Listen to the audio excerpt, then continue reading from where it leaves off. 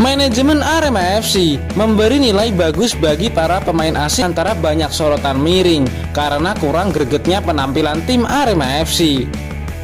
Pihak manajemen Arema FC menilai para pemain asing sejauh ini menunjukkan performa sesuai harapan meskipun hasil pertandingan belum memuaskan banyak pihak. General Manager Arema FC Rudi Widodo menilai keempat pemain asingnya menunjukkan progres penampilan yang cukup menjanjikan.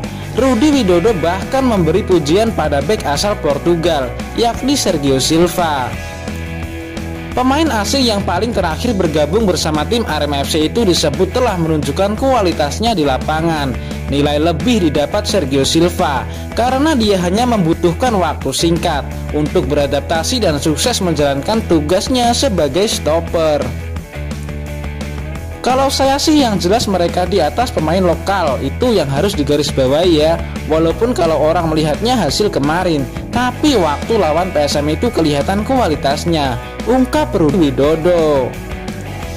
Pergerakan stopper itu kan kelihatan dan pemain yang pengalaman sama enggak kan kelihatan. Sergio datang tiga hari sebelum berangkat ke Jakarta.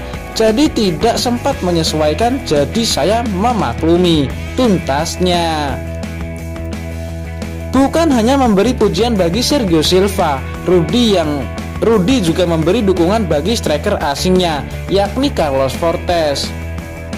Seperti diketahui, peran Carlos Fortes di lini depan Arema FC mulai dipertanyakan setelah ia belum mampu mencetak gol di dua laga yang sudah dilalui Arema FC. Fortes ini kalau saya lihat datanya dia ini kan second striker. Makanya di datanya jarang memasukkan gol. Seperti kemarin yang memasukkan Dendi Santoso. Ungkap Rudi Widodo